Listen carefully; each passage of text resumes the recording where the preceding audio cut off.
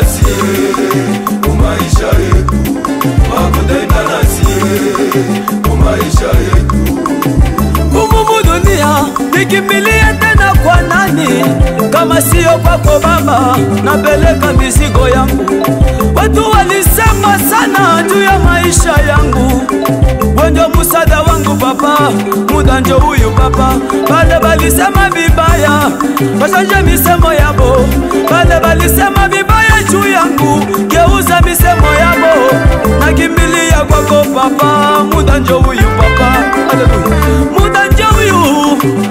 matimi ya papa muda wa bwana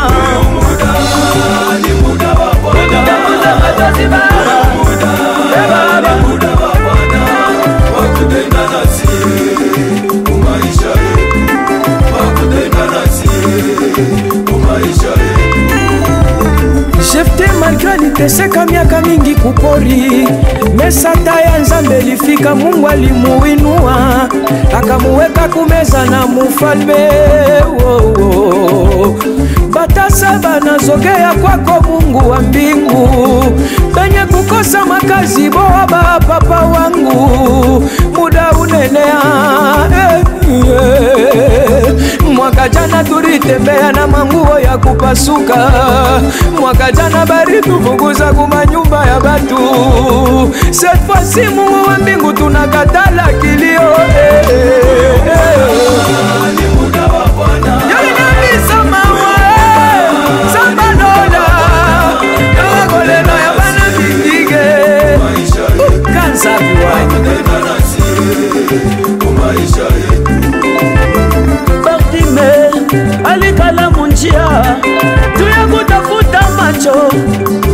alimlilia sana, watu wote walimucheka, watu wote walimudharau.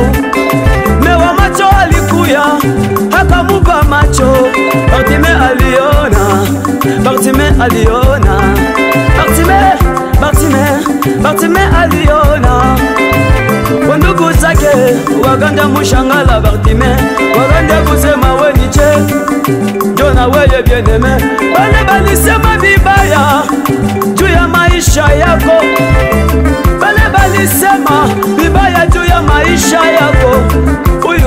hapa, atabadilisha misemo, kwa sababu huyu muda ni muda wako, na wewe utacheka sa vengine utafurahi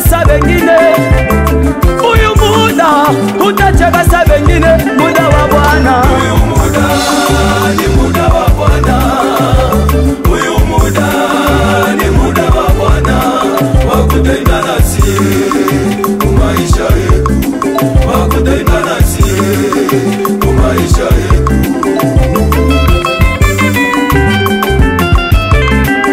Mama, uliteseka sana miaka mingi ya kutosha, mwana kuya kumaliza kilio kya miaka mingi.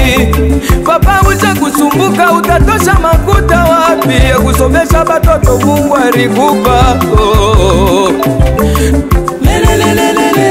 bapaka solution nazoprofetize moto moko nzambe akoshange vinga yo barikucheka mwaka olipita me cette fois-ci abata kucheka tena jean-kis kolela te sikoyo nzambe akoyanola yo papa antoine nzambe azoshange azo vina yo na mokolo ya 2020